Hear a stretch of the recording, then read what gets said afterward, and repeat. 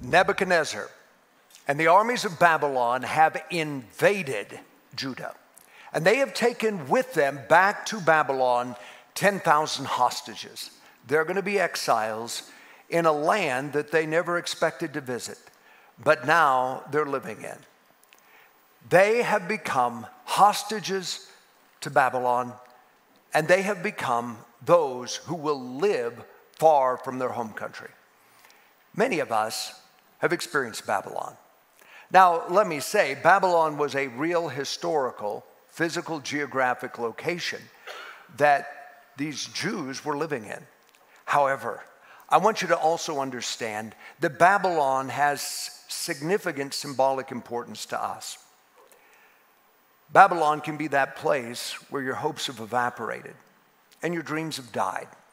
Babylon can be that place where you find yourself that your biblical values are no longer honored and the God that you worship is mocked. Or it could be that the Babylon you're in is being under extreme pressure. And that's what we're going to see today in Daniel chapter 2. So if you'll turn with me there, we're going to continue our series from the book of Daniel. Because among those 10,000 hostages, there are 70 young boys who have been trained in the ways of Babylon. And among them are four in particular Daniel, Azariah, Mishael, and Azariah. And we pick up their story in Daniel chapter 2, verse 1. Now, in the second year of Nebuchadnezzar's reign, now you've got to understand that the way that they counted years among Babylonian kings which much different than we do. Usually they excluded the first year. Now, I don't understand why, but I do know this that that means that these boys have been in Babylon now for three years. They've been in training in the best Chaldean schools for three years. We read on Nebuchadnezzar had dreams, and his spirit was so troubled that his sleep left him. That word troubled is actually quite a profound word. It's the idea of a hammer hitting a bell. You are awakened from sleep. You are possibly in a cold sweat and trembling because you have had a dream that you know is not just a dream. I mean, all of us have dreams, dreams go through our head, but then once in a while you have a dream that can shake you. That's the dream that Nebuchadnezzar has had. It has troubled him. Sleep has left him he is not going to go back to sleep. It literally means his sleep was done. Maybe you've had that. Where you wake up in the night troubled, concerned, upset, and you know I'm not going to sleep the rest of the night. And if the king isn't going to sleep, ain't nobody going to sleep. Look at verse 2. Then the king gave the command to call the magicians, the astrologers, the sorcerers, and the Chaldeans to tell the king his dreams. So they came and they stood before the king. Babylon was the place that all dark occult, all dark religion, pagan religion arose from. It was an evil place. The Bible speaks of Babylon as evil. That's the kind of place that we're in. And so these are not quite the people you would expect. I want you to see the word astrologers. Maybe that doesn't bother you much. But they are those who determine things based on the stars. But more than that, the word also could indicate necromancers. They spoke to the dead. Then there's sorcerers, those who would take curses and spells from the darkness, and they would proclaim demonic spells over people's lives. The Chaldeans, they were a pagan priestly class. They were a bit of aristocrats there in Babylon, they actually had a great deal of authority under the king, and they were the people who worked in these dark magic powers. Verse 3 And the king said to them, I've had a dream, and my spirit is anxious to know the dream. So again, it's more than a dream. Maybe you've had those. And God does speak to people through dreams, He even speaks to pagan kings. Verse 4 then the Chaldean spoke to the king in the Aramaic. Now that's important, in Aramaic, because suddenly the book shifts. These next words, O king, live forever, you could put them, long live the king, these words are actually Aramaic words. This book has been written in Hebrew up to this point, but suddenly it's shifting to Aramaic. It's believed Daniel is the author of this book, so the beginning words of it would have been written in Hebrew, but he also knew Aramaic. Aramaic actually was the lingua franca of that day. It was the business language. If you were to go between countries, you would use Aramaic. And suddenly the text shifts to Aramaic all the way until Daniel 7:28. There's a lot of thoughts on this. One thought is that this is the language of exile. Aramaic. That's what they suddenly had to speak, and they even take it back with them to the land of Judah. But also, now we're going to see prophecies about Gentile nations. And the attention is turning from Israel, not completely, but also to the nations of the world. Verse 4 goes on Tell your servants the dream, and we will give the interpretation. So basically, they're saying, King, we're not mind readers. We don't know what you dreamed, but we are dream interpreters. And they're very confident because they had books in Chaldea that if you dream this, it means that. If you dream that, it means this. They knew exactly how to interpret dreams according to their occult spells and magic and astrology. Verse 5 goes on The king answered and said to the Chaldeans, My decision is firm. If you do not make known the dream to me and its interpretation, you shall be cut in pieces. Your houses shall be made an ash heap. He's serious. He's not playing word games. He's not speaking in hyperbole. He was a man known to chop off the heads of his opponents. We know that when he went into Judah, he took all of the king's sons and killed them in front of the king and then plucked out his eyes so the image of his sons dying was the last thing he would see. He was a man known for roasting his enemies over a fire slowly. That's Nebuchadnezzar. You see, if you've ever studied business management, you know that there is a hands on leadership style, there's a hands off leadership style, but Nebuchadnezzar had a heads off leadership style gives a whole new meaning to a severance package. But that was Nebuchadnezzar. Let's go on and read in verse 6. However, if you tell the dream and its interpretation, you shall receive from me gifts, rewards, and great honor. Therefore, tell me the dream and its interpretation. This was sort of like an all or nothing deal. You're going to be given fame, you're going to be given money and rewards and wealth, or I'm going to kill you. One or the other. Verse 7. They answered. So the Chaldeans are under pressure here. They've got to answer, they got to know what to say to the king.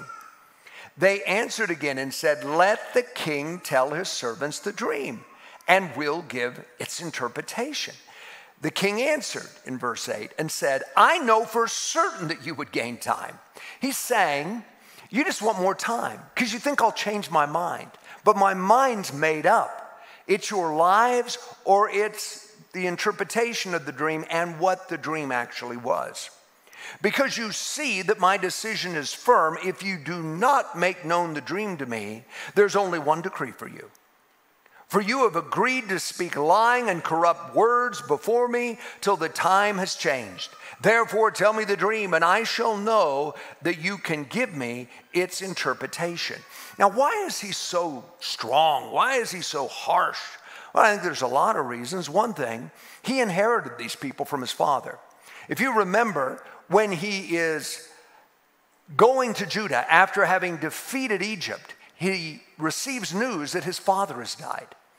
Well, now he's been the king for three years and he still has all these toadies and hangers on from his father's kingdom. And so these Chaldeans were people that his father very much believed in, but he's not sure he believes in them. He's not sure if they're even of any benefit to him. And so he doesn't trust them. He's saying, You can make up any kind of dream interpretation. If I really want to see that you're worth the investment I'm making, give me what the dream is or I'm to kill you. Now that's pressure. They are under pressure. The Chaldeans, the magicians, and we're to find out even Daniel and his companions are all under pressure. So, what do you do under pressure? Here's how the Chaldeans respond. The Chaldeans answered the king and said, There is not a man on earth who can tell the king's matter. Therefore, no king, lord, or ruler has ever asked such a thing of any magician, astrologer, or Chaldean. What they're saying is, we can't solve this problem. This is a ridiculous request. It's almost like they're blaming Nebuchadnezzar for making such a request. Nobody can do this. Have you ever been in a situation where it felt like nobody can fix this? There's nothing that can be done. I'm inept against this problem. I don't have the strength, I don't have the ingenuity, I don't have the wisdom, I don't have the experience, I don't have the money, I don't have the capacity to handle this. That's the situation they're in. Verse 11. It's a difficult thing that the king requests, and there is no other who can tell it to the king except the gods, whose dwelling is not with flesh. The Babylonians were polytheists, so they said, even the gods, even the gods aren't going to help us here.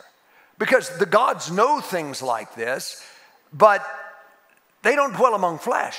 They're not going to come down and give us the answer. You're asking something that only gods can handle. Now, the reality is, if you give it a large G, a capital G, and you drop the S, you have it right. God knows the answer. God knows what the dream was. God gave the dream to Nebuchadnezzar. But they say he doesn't dwell among flesh.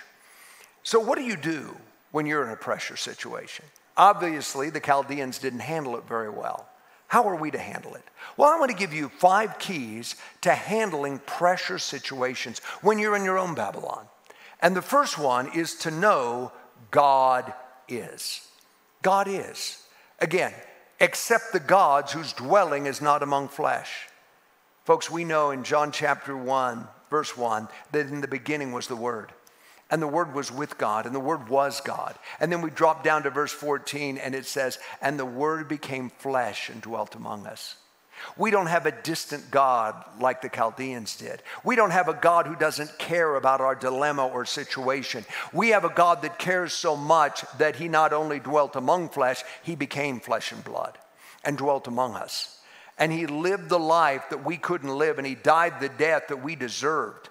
That's how much He cares. We're not like the Chaldeans. We have a God who is. Our God exists. But it's more than our God exists, it's that our God is in our current situation. You know, we need to realize that. Not only that God is, but He is with us now. God is in our situation. God is active. God is involved. Now, here's the thing when you're under pressure, when your world is falling apart, when you're in difficulty, it doesn't feel like God is. That's why David, when he was in that situation, in Psalm 27, Saul is breathing down his neck. Saul, the king, is wanting to kill him, and the armies of Israel are chasing him. He says in Psalm 27, The Lord is my light and my salvation. Whom shall I fear? Of whom shall I be afraid? Now, notice what David didn't say. He said, The Lord was my light before I got into the situation.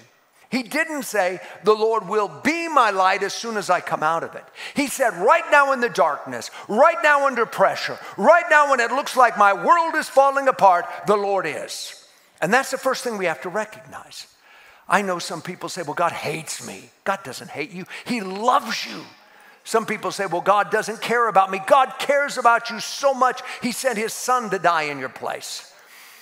God is actively involved in your situation, whether you know it or not. The Lord is. The Lord is. He is in this situation involved. But the Chaldean magicians didn't know that. They didn't know this God. So they tell the king no, and they're going to learn something. You don't tell Nebuchadnezzar no. Look at verse 12. For this reason, the king was angry and very furious and gave the command to destroy all the wise men of Babylon. Now, here's what we need to know Daniel, Azariah, Hananiah, and Mishael have been in school for three years. They've been training, they've gotten their degree, they graduated at the top of the class, and they have been promoted. And they have been made the Chaldeans. They have been made among the Magi. They have a new job. The problem is the government is going to have some cuts. They're going to cut them to pieces. What a time to come into that position. So, th- this is a very stressful situation. Verse 13. So the decree went out and they began killing the wise man. They didn't mess around. I can just see it. I mean, immediately Nebuchadnezzar gives a command, and those who are present are immediately killed. Thankfully, Daniel and his friends were down the totem pole a little bit. They were back at home. And so they're not killed immediately, but they're going out to kill people.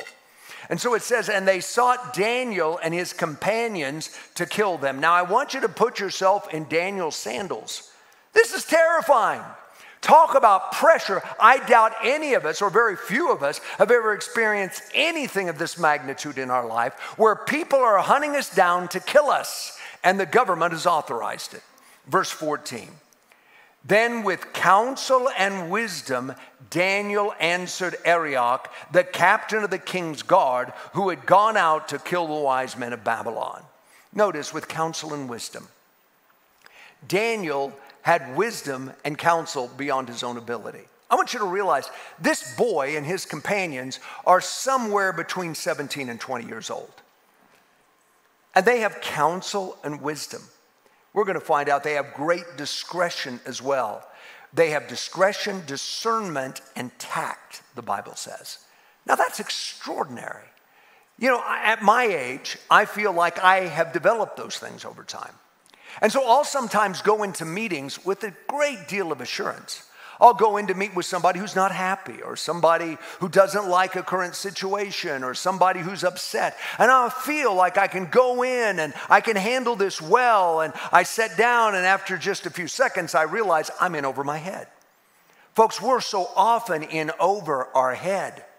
These young boys who do not have the experience many of us have, who do not have the knowledge many of us have, handled this with absolute brilliance. And I want you to recognize how difficult this was. Notice this guy is called the king's guard. Literally, he was the chief executioner. That's his name. I mean, let me ask you, who becomes the chief executioner? I can just see this guy. He is a big ball of muscle. He has forearms like Popeye. He's got, I'd imagine, a shaved head. He's got a tattoo that says executioner. He is, he is a violent man. He has an axe with blood dripping from the axe. This guy is not a guy you want to mess with. He may have a hood on with just slits for his eyes, and he comes to the door. How do you handle this? I, I can just imagine it.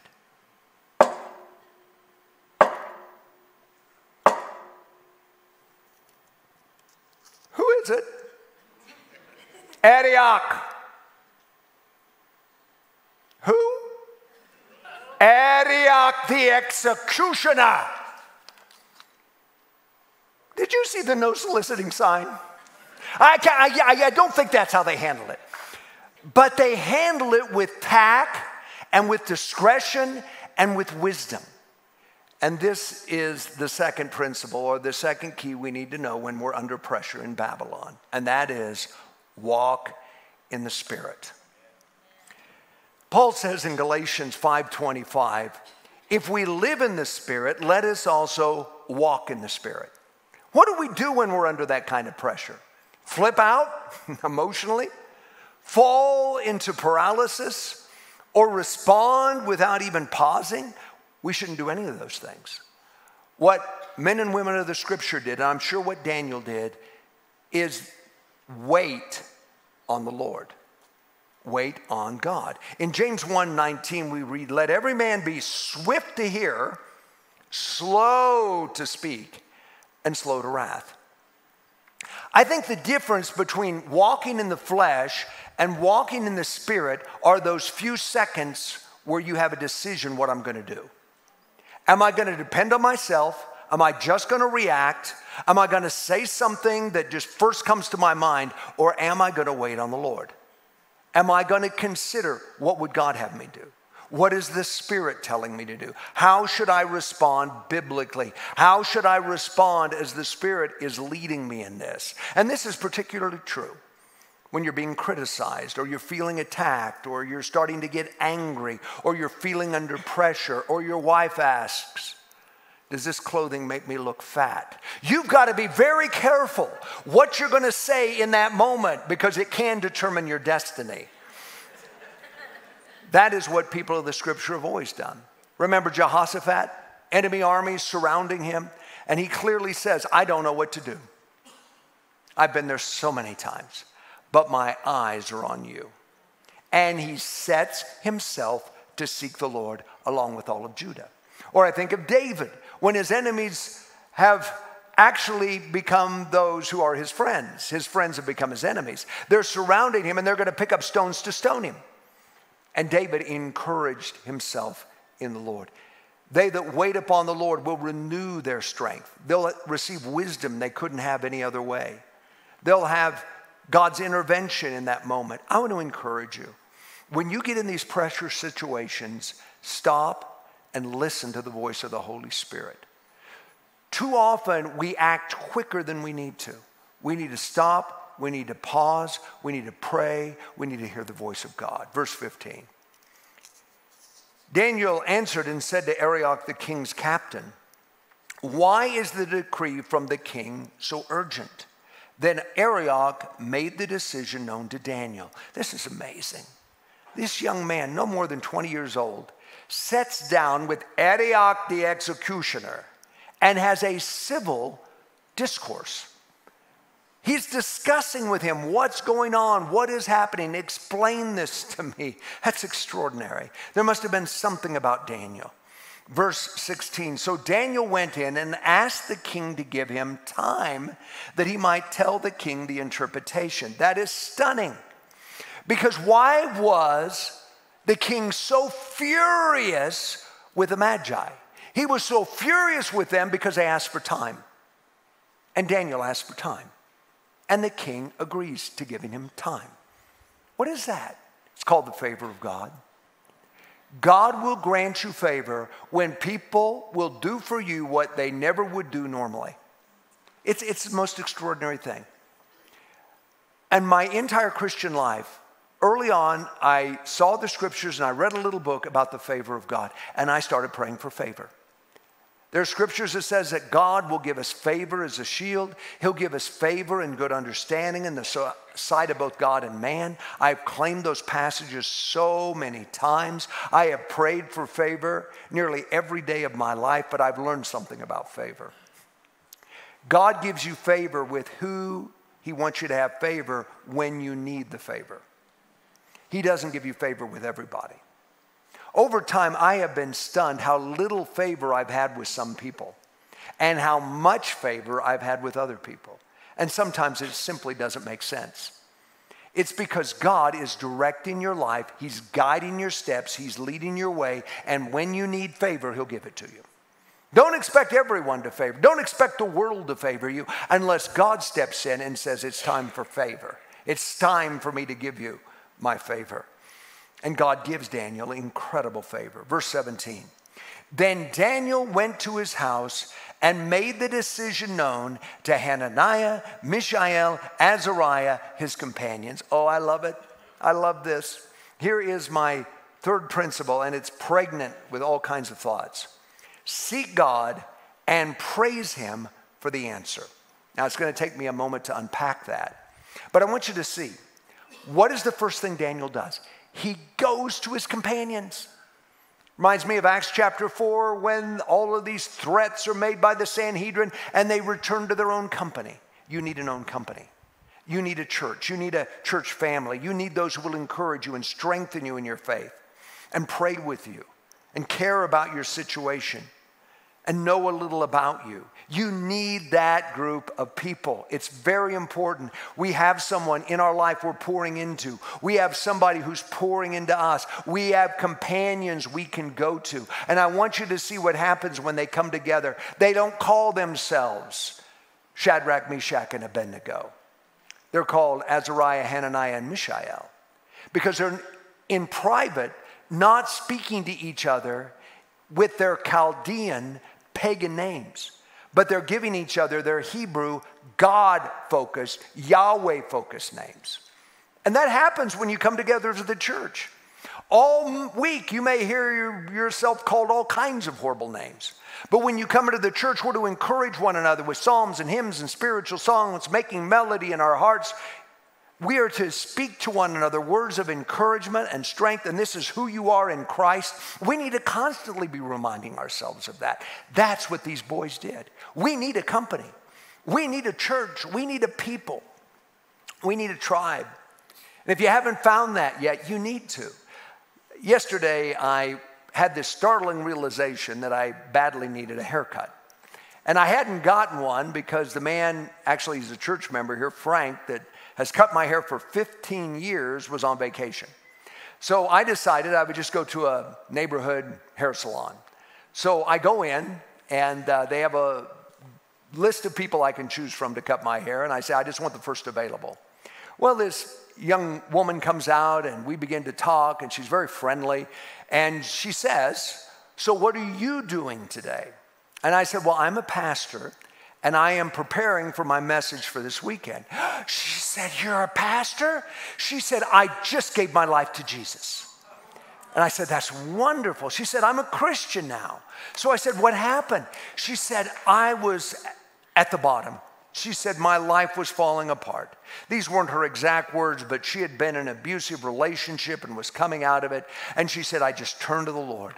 I said, Do you have a church? Oh, no. Do you have Christian friends? Well, not really. And I'm finding out something, she said. Not everybody likes the idea that I've become a Christian.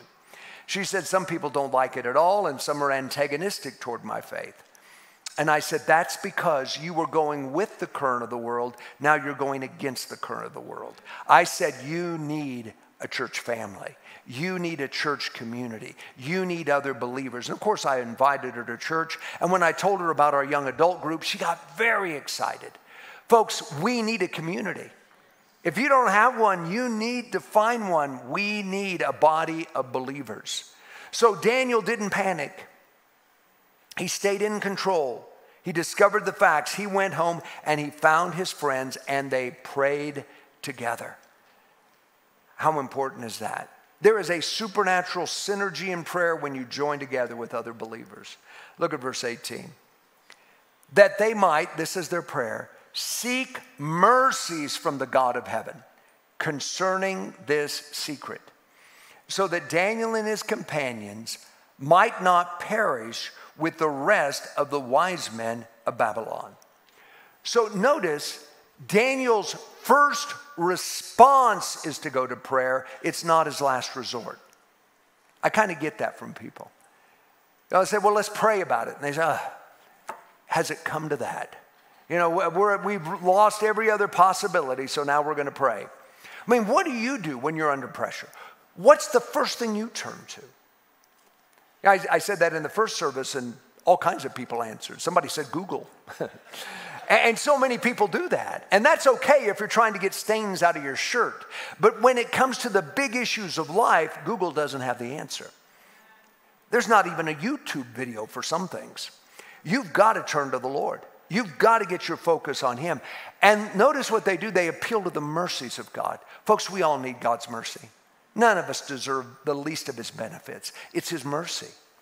Mercy actually is a covenant term. We have a covenant with God, and He shows us His covenant mercies. So they go to Him in prayer.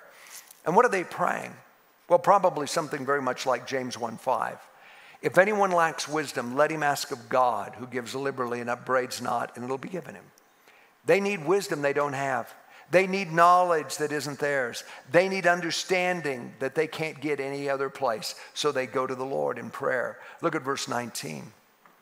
Then the secret was revealed to Daniel, and I love the phraseology in a night vision. So Daniel blessed the God of heaven. Now, I think if Daniel had gone to sleep that night, he would have had a night dream, but he didn't. It's a night vision. And you know why I think that is? Because Daniel was under so much pressure. and so much strain that even though he was praying and he was trusting God, he couldn't sleep. Have you been there? I've certainly been there. Daniel was a human being. He was an amazing man of God, but he was a human being. And God responds to him with a night vision. Look at uh, verse 19 or 20. Daniel answered and said, Blessed be the name of God forever and ever, for wisdom and might are his. Now, this is the second half. First, they seek the Lord, and then they begin to thank him in advance for the answer. You know, they had the revelation, they had the wisdom now, they knew what to do, but now they've got to go do it. I know for me, I had an experience very much like this. I was in a pressure situation. This was years ago when we were pastoring another church, and I had a staff member who did some things I wasn't aware of or chose not to be aware of. And later on, they came back to cause me a tremendous amount of trouble, put me in a great amount of pressure, and I didn't know what to do. So I went to bed that night, and it was as if a hammer hit a bell when I woke up. My mind was racing. I knew I'm not going to sleep the rest of the night. So I decided to get up and I began to seek the Lord. And I began to pray and I prayed in the Spirit and I sought God and I asked God to give me wisdom and revelation. And suddenly, it was like a vision, but it wasn't. It was a download from heaven. And I received information First of all, showing me what had happened, because I didn't quite know what happened, and revealing to me where I'd made mistakes, which I needed to repent of. And then God began to show me how to deal with it, what to do, and how to go forward. I got so excited, I just began to praise and worship God. In fact, a holy laughter came over me, it felt like. I began to laugh and just holler and praise God. And Kelly came downstairs and she said, What in heaven's name is going on? And I told her, God has spoken to me and I know the answer. So I know what's going on with Daniel. God has shown him. Nothing has changed yet, but he's worshiping God because God has given him the answer. And what we see in verses 20 to 22 has been called Daniel's Psalm. You know, there's many Psalms. David wrote many Psalms. This is Daniel's Psalm. Verse 20 says, Daniel answered and said, Blessed be the name of God forever and ever, for wisdom and might are his. And he changes the times and the seasons. He removes kings and raises up kings. He gives wisdom to the wise and knowledge to those who have understanding. I love that. God raises up kings and he pulls them down. There's some things that are absolutely out of our control, but we can trust God. We can believe God depending on his power. Verse 22 He reveals deep and secret things. He knows what is in the darkness, and light dwells with him. You need not fear the darkness if you simply run to the light. And God is that light. He's the light in the middle of darkness. When we don't know what to do, when we're confused, when we don't have the strength, we can turn to Him and God reveals his secrets to those who are in covenant with him. Verse 23 says, I thank you and praise you, O God of my fathers. He's praising God, recognizing that this didn't begin with him, that it's the God of his fathers Abraham, Isaac, Jacob, even David, because he was of noble blood. And I want you to see this. He is praising and he is thanking God, recognizing that this is part of God's redemptive plan that it didn't start with him and it's not about him, it's about what God is wanting to do in this situation. So he's praising God for it. Verse 23 again said, I thank you and praise you, O God of my fathers. Verse 23 goes on, You have given me wisdom and might. You have now made known to me what we ask of you. For you have made known to us the king's demands. Notice the we and the us. This is an answer to their corporate prayer. There is tremendous power in praying together. Verse 24 Therefore, Daniel went to Arioch, whom the king had appointed to destroy the wise men of Babylon. He went and he said thus to him Do not destroy the wise men of Babylon. I mean, it could be right then, people are dying in their homes. Take me before the king, and I will tell the king the interpretation. So here's the fourth key when the pressure's on in Babylon act boldly. Now, notice God showed them what to do. God gave them the answer, but then they had to act. I got to tell you my own experience. God showed me exactly what to do. It was a revelation of God. I'm praising and worshiping Him. I feel so powerful and anointed and excited. And then I wake up the next morning and have to go do it. And suddenly I don't feel so anointed. Suddenly it doesn't seem like such a great idea, but I knew it was God's idea. So I had to go out and walk out everything God told me to do. And it's so amazing how everything worked out, spectacularly amazing beyond my wildest hopes, dreams, and imaginations. And when it was all done, I remember just talking to the Lord during the day, how you sometimes do. And I said to him, Lord, this was such an anxious, uptight thing, yet it all worked out so brilliantly. I don't understand why I was so uptight. And the Lord spoke to me so clearly in my spirit and said, It's because you didn't trust me. Okay, some of you are, are not thinking good of me right now, but you've done the same thing. I know how some of you are. You come to church on Sunday, the Spirit of God is moving. Maybe you've come to the altar, received prayer, and, and you just feel the anointing. And you're ready to make changes and you're ready to see things change and you've heard from God, and then you go home and, and you just don't feel the anointing anymore. I know how that works. All of us are subject to that. But you've got to do what God tells you to do, and you need to act boldly. And that's what Daniel and his friends do. Look at verse 25. Then Arioch quickly brought Daniel before the king. Quickly. People are dying. He needs to go. Verse 25 goes on and said thus to him I found a man of the captives of Judah who will make known to the king the interpretation. Notice, I have found. he didn't do much but just have a conversation with Daniel. And now he's going, but I want you to see, he must, Daniel must have had so much certitude and so much credibility that he's able to go to the king and say, he's going to give you the interpretation. His own life's on the line, but he's so confident in Daniel. Verse 26 The king answered and said to Daniel, and what we're going to see here is the king isn't quite as enthusiastic or certain as Arioch is.